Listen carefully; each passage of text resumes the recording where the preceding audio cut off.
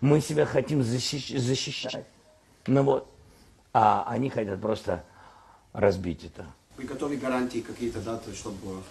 Гарантии для чего? Ну, они... Мы не нападаем на Россию, не собираемся на нее нападать.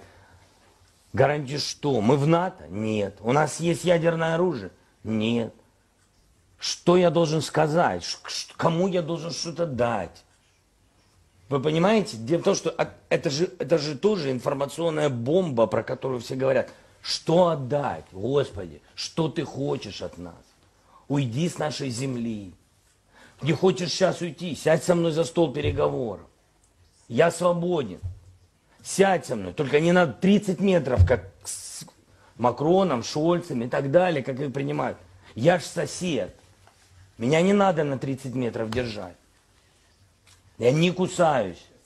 Я нормальный мужик. Сядь со мной. Поговори. Чего ты боишься? Мы никому не угрожаем. Мы не террористы. Мы не захватываем банки.